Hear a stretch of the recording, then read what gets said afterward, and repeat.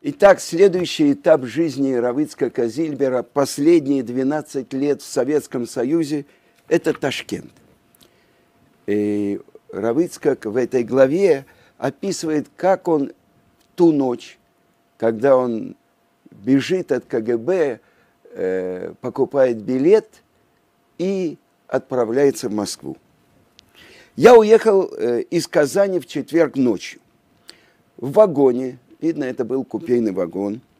В его купе, купо, в его купе, рядом со мной громко разговаривали три других пассажира.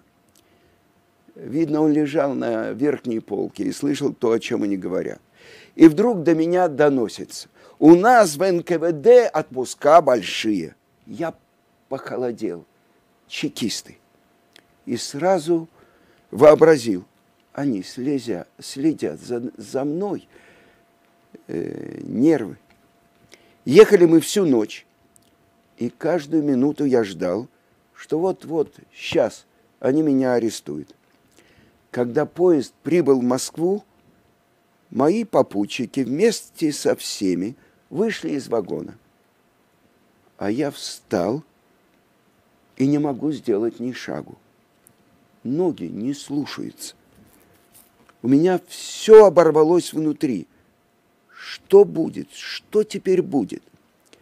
Так я долго стоял в пустом вагоне, пока, наконец, не смог сдвинуться с места. Я очень беспокоился. Как там дома? Но даже вызвать жену на телеграф, ведь дома, конечно, у нас не было телефона, я не мог. Я боялся, ведь э, телефонные разговоры прослушивались. У меня была первая мысль в Москве – пойти в ЦК партии, всемогущий центральный комитет коммунистической партии и сказать все в открытую. Я человек верующий, меня за это преследуют, я ищу справедливость. Но хорошо подумав, я решил, что это бесполезно. Чем выше эти люди, тем они хуже. Я пробыл в Москве только субботу. Оставаться не было смысла. Одолжил деньги у Реб Исроиля Цацкиса, дяди доктора Цацкиса, и поехал на Кавказ, в Сухуми. Я надеялся устроиться там на работу, а потом перевести семью и отдать детей в Казани в вечернюю школу. Но вскоре я увидел, что здесь это не получится. Во всем Сухуме не было ни одной школы рабочей молодежи. И тогда я поехал в Ташкент. Я знал, что смогу там поначалу остановиться у родственника Авраама Рабиновича, однофамильца моего Шурина. В Сухуме я встречался и с грузинскими, и с ашкенадскими евреями – в основном все-таки с грузинскими, то есть с сефардами. Э, я, конечно, слышал, что время по-разному отразилось на сефардских и аштенадских евреев. Но в Сухуме я впервые увидел своими глазами, какая разница. Разница в их образе жизни была огромная. Меня она просто поразила. Грузинские евреи жили так, будто советской власти нету вообще. Мужчины каждый день ходили в синагогу молиться. В субботу, правда, они работали, но после работы приходили в синагогу и часа три слушали урок хахама, мудреца. Тайно они обучали Торе детей, и все покупали кошерное мясо. А у ашкенадских евреев почти не покупали да и миньян ашкенадский было трудно собрать. В будни приходило 5-6 человек, а недостающих отыскивали, где придется. Я спросил у одного еврея в синагоге, почему ашкенадские евреи не покупают кошерное мясо? Их можно понять, возразил он мне. Эти жулики слишком дорого за него берут. Но все-таки нельзя же есть трифу, трефное мясо, возразил я. А он мне говорит, ой, вы отсталый человек. Пока я не вышел на пенсию, я даже не приходил молиться в нашу синагогу в нашем городе. Но в командировках, в местах, где собирается миньян, заходил. Так вот, я вам расскажу. В Казани я видел молодого человека, сына Равина. Он был студент, учился в университете. И я знаю, ему не раз приходилось добиваться, чтобы экзамен перенесли с субботы на другой день. Он все делал культурно. Действительно, интеллигентный человек. А вы человек отсталый, только и знаете трепа, трепа, это запрещено, это нельзя. Я понял, что вот этот культурный сын Равина – это я, но промолчал. И только в последний день перед отъездом я признался ему. И еще о грузинских евреях. Не в тот раз, а уже в 70-м году, оказавшись на свадьбе в Сухуме, я обратил внимание на одного пожилого человека, к которому все обращались очень почтительно и называли его Ребе. Но он не очень был похож на Ребе. Ну, к тем раввинам, к которым я привык. И я спросил у него, почему его так называют. А он сказал, что уже много лет обучает маленьких детей еврейскому алфавиту – молитве, Торе. С конца 20-х годов советская власть начала запрещать все еврейское. Детей стало учить совершенно невозможно. И некому. И хотя к тому времени он был на пенсии, когда я с ним говорил, ему было уже далеко за 90. Он продолжал делать свое дело тайно. Мальчишки, которые учили в школе во вторую смену, приходили к нему утром, а те, кто учился в первую смену, после полудня. «Поверь», — сказал он мне, — «я все эти годы первый стакан чая выпивал только после половины второго, в перерыве между двумя сменами. За обучение этот Рэби, этот праведник, брал с родителей всего 5 рублей в месяц. Да еще он должен был платить милиционерам из этих денег, чтобы не мешали. Я спросил его, а сколько детей вы обучали? Он немножко подумал и сказал, наверное, около 90 человек. 90 учеников в день! Впервые я рассказал об этом сухумском рэбе, когда был в Америке на динере, на благотворительном вечере в честь особенной системы школ, в которых обучают и религиозные дети. Итак, я осел в Ташкенте, но не мог прописаться, потому что я не мог выписаться из Казани. Я боялся, так я не сомневался, что власти меня ищут, и не хотел наводить КГБ на мой след – по улицам я ходил в страхе.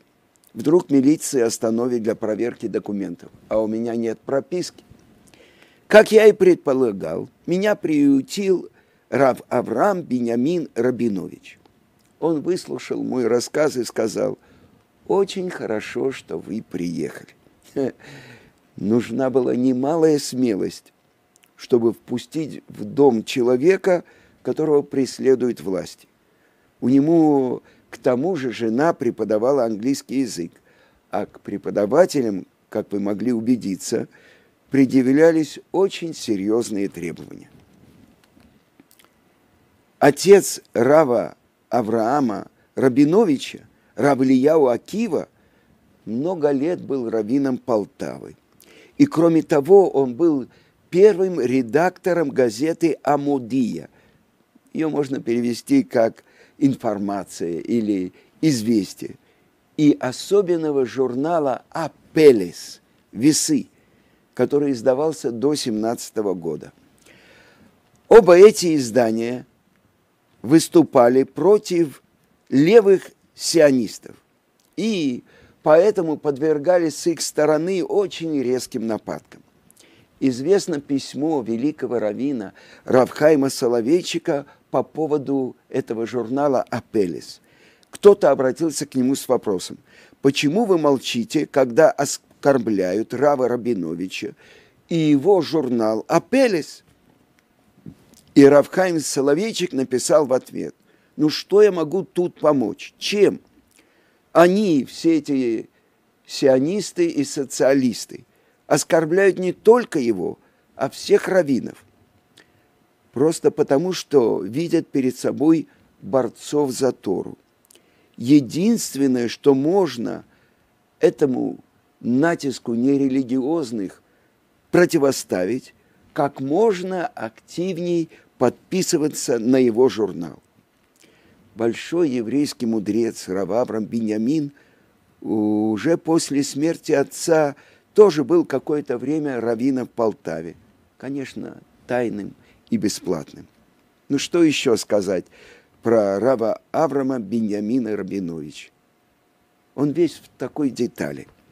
Когда я уже перевез в Ташкент семью, и жена родила, он каждый день приносил ей молоко. А умер он через месяц после рождения моей дочки Хавы. Я старался приходить к нему со своей едой. Такая у меня привычка. Буханка хлеба и банка консервов.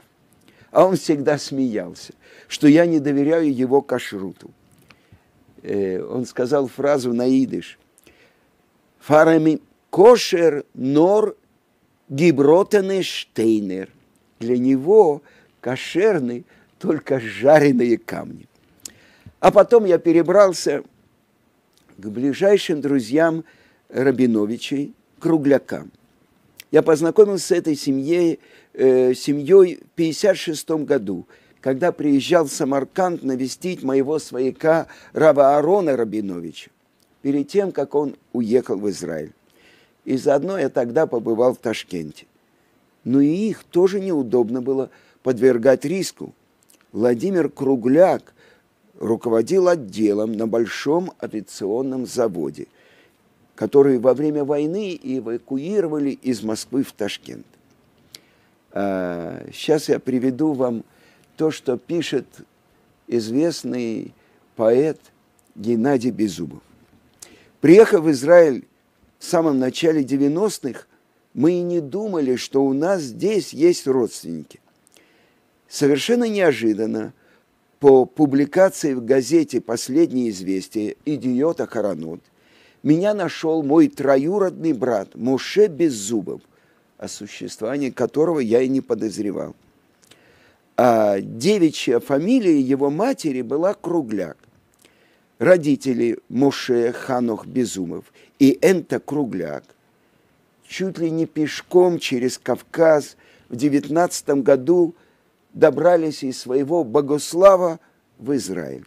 Спустя годы, обжившись, Ханох построил квартал Борухов, из которого потом вырос пригород э, Тель-Авива Гиватай. И вот тогда Моше познакомил меня с дядей Володей, Владимиром Кругляковым, братом Энты. И вот то, что вспоминает жена Владимира Кругляка, Лиза Кругляк. Равыцкак Зильбер пришел нам в первый раз накануне Сукота 56 года, проездом из Самарканда. Это было в пятницу. Он пришел и тут же сказал моему мужу, вы не волнуйтесь, у меня есть еда для субботы – он вынул из мешочка буханку хлеба и консервы.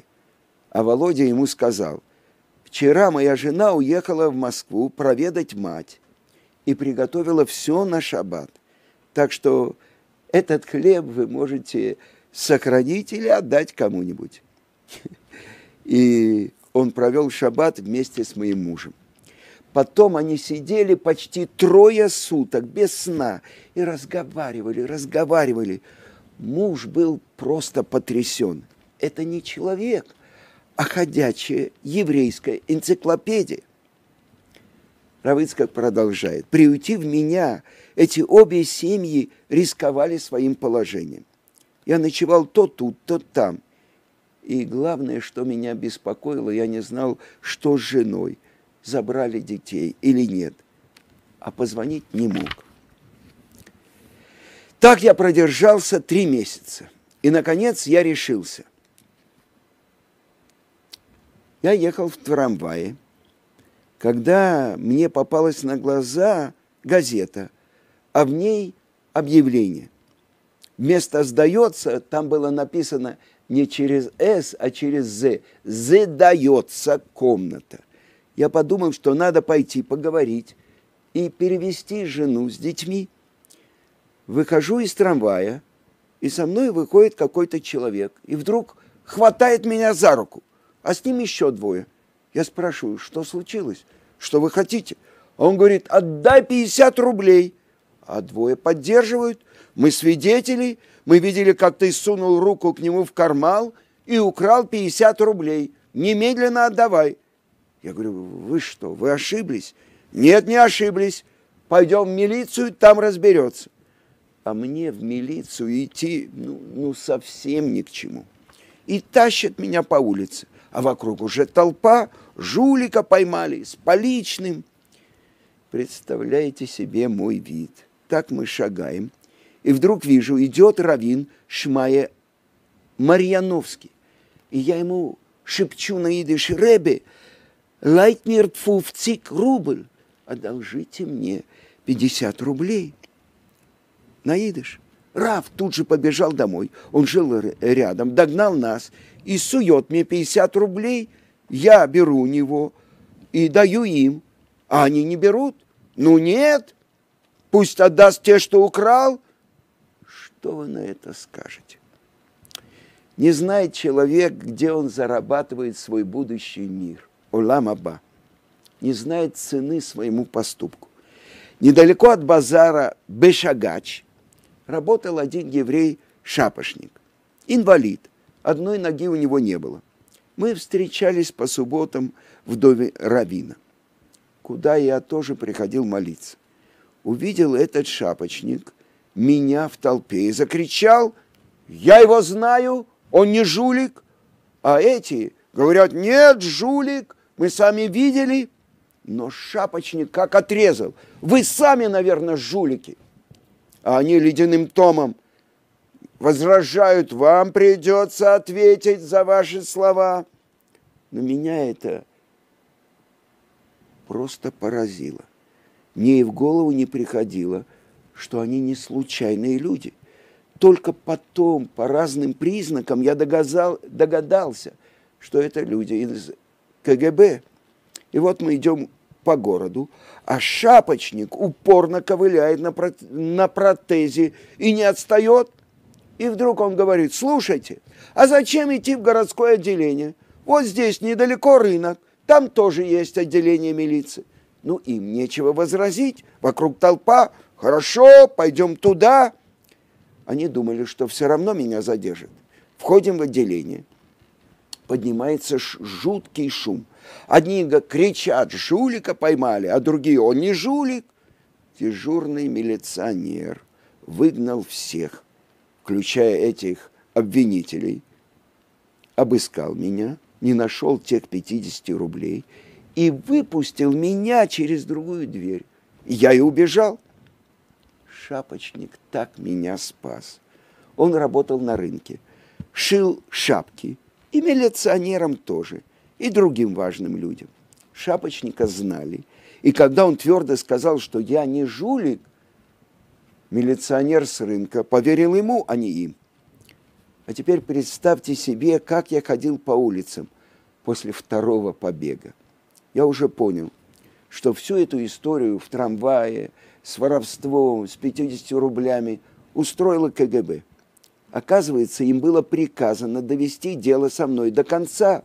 Прошел месяц или полтора, а приказ все не выполнен. Они придумали способ. Если бы не этот шапочник, не, не миновать мне нового срока, новой статейки в газете, под таким броским названием, вроде «Слава Всевышнему на устах, а краденные деньги в кармане». Недавно я узнал, что внучка того шапочника приехала в Израиль. Я дозвонился и расспрашивал ее про ее деда. Оказалось, что она хорошо помнит этот случай. Ее дедушка рассказывал, что у меня был еще тот вид, когда меня вели по городу как жулик. Еще бы. И вот, подводя итог моему бегству, моему переезду всей моей семьи в Ташкент, я хочу сказать, Гамзу летова, и это к лучшему. Это расчеты Всевышнего. Если бы нас из, из Казани не вытолкнули эти обстоятельства, мы бы никогда сами не уехали. А в переезде есть и хорошая сторона. Из Ташкента легче выпускали в Израиль. Нас выпустили через 12 лет после переезда, в 1972 Здесь не так чувствовался гнет советской власти. В Казани опасно было держать дома еврейские книги, даже Сидур. А в Ташкенте это можно было делать. Пусть тайно, но желающие могли учить Тору. Не так страшно было не работать в субботу. Приходилось, конечно, поступаться деньгами. Найти такую работу было трудно, но все-таки работа была. В Ташкенте была дружная ашкенадская община – семей 70, и среди них много хасидов Хабада. Если кто-то поступал неверно, было кому его поправить. У детей, у наших детей появилась еврейская среда, еврейские дети, друзья, и это было особенно важно. Мы сблизились с семьей Владимира Ароновича и Елизаветы Яковлевны Кругляк. Это были очень добрые и симпатичные люди несмотря на важную должность, которую Володя занимал, он прятал у себя всех, кому надо было скрываться от властей. Мне он как-то сказал, вы с семьей можете жить у нас сколько вам будет нужно. Один человек скрывался у них полтора года, и у них же умер. И они его похоронили – как неизвестно. У этой тайной жизни во всем были свои приемы, свои хитрости. Так они жили двойной жизнью и соблюдали все еврейские заповеди. И это то, что вспоминает Лиза Кругляк. У нас была большая квартира, и все свадьбы проводили у нас, ставили хупу. Но это надо было делать тайно – даже субботние свечи я зажигала в таком уголочке, чтобы не видно было из окна. И я задерживала, задергивала шторы. Семьи, соблюдающие заповеди, хорошо знали друг друга в Ташкенте. И сообща заботились о нуждах всей общины. В 1952 году, когда Сталин раскручивал э, антисемитские процессы, и готовил дело врачей. Моего мужа уволили с завода.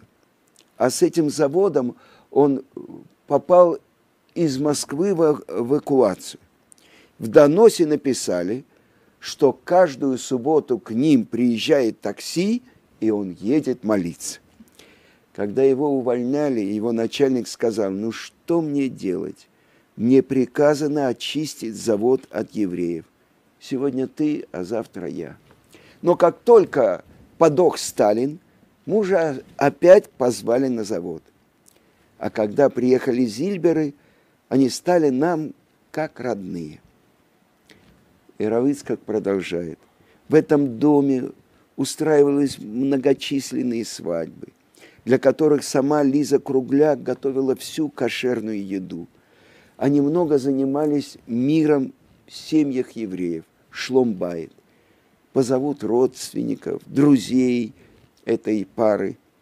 И в 10-15 голосов разбираются, мирят. А сколько денег они раздавали людям, сколько отдавали в долг. И так Равыцкак рассказывает, как он устроился на работу в Ташкенте. Трудоустройство. У меня не было документов, чтобы официально устроиться на работу. Но Володя Кругляк устроил меня в автотранспортную контору. Я должен был три раза в неделю, с шести вечера до шести утра, стоять и записывать номера прибывших машин и время их прибытия. Я сразу же договорился с одним узбеком, что я буду платить ему 3 рубля с тем, чтобы в пятницу он задержался на 2 часа. Это позволяло мне являться позже. В тот день, в субботу, я добирался до работы пешком, а записывать номера машин, естественно, в субботу я не мог. Я выучивал их наизусть. А на утро я должен был сообщить секретарше номера всех 15-16 машин и время, когда они прибыли. И вот однажды по просьбе узбека я ему заплатил заранее, за три недели вперед. А он меня подвел, не пришел. И меня уволили за прогул. Тогда меня устроили в строительную контору к одному корейцу. Я отдавал ему пол зарплаты, чтобы в субботу не работать. И работал я, пока мой начальник не попался на фальшивых ведомостях. Он оформлял на работу несуществующих людей и получал за них зарплату. Я немедленно уволился, чтобы не угодить в это дело. Какое-то время я работал в неофициальной переплетной мастерской. Она уютилась в помещении какой-то другой организации, и я приходил туда по ночам, когда нормальные работники уже уходили домой. Как, как-то все закончили работу и ушли, а я остался, чтобы прочесть вечернюю молитву, и вдруг входит охранник. «Что ты тут делаешь?» А я ему показываю народ. Видно, Равыцкак был посредине молитвы Шмонайср. Не могу, мол, говорить. Он ушел. А несколько дней спустя, когда все пришли за зарплатой, а он спрашивает, а где этот ваш немой? Потом я попал в картонажный цех, где начальником был еврей Окс, бывший прокурор. И я работал у него гораздо больше восьми положенных часов. Таскал тяжелые рулоны бумаги, которые часто были по 50 килограмм. В субботу я приходил, но не работал. И за это отдавал ему три четверти зарплаты. Вместо 240 рублей получал 60. И в конце каждой недели этот бывший прокурор Окс – начинал меня запугивать, надеясь, что я уступлю. Я думал, как-нибудь вытер, вытерплю твою субботу, но не могу. Товарищ Абрашкин из профсоюза очень этим недоволен. Я тут же пишу заявление. Прошу освободить по собственному желанию. А он машет рукой, ладно, поглядим еще немного. И так каждую неделю. Как-то этот Окс поругался со своим напарником, а зло сорвал на мне. Выдал мне вместо 60 рублей 40. Я спрашиваю, простите, но здесь только 40. В чем дело? Ни в чем, вот так и все. А деньги мне были нужны позарез. Надо было отправить больного сына в санаторий. Деньги на билет я в последнюю минуту все же достал но оставим это. Так, когда эту книгу читали на иврите, очень многие евреи в Израиле, как человек ради субботы готов пойти в лагере, даже с риском для жизни. А здесь от 240 рублей получать 60 три четверти зарплаты он отдавал начальнику. Это обязывает. как человек мог выдержать и не сломиться. Это заставляет нас посмотреть на то, как мы живем, как мы учим Тору, как исполняем заповеди. Живой урок веры.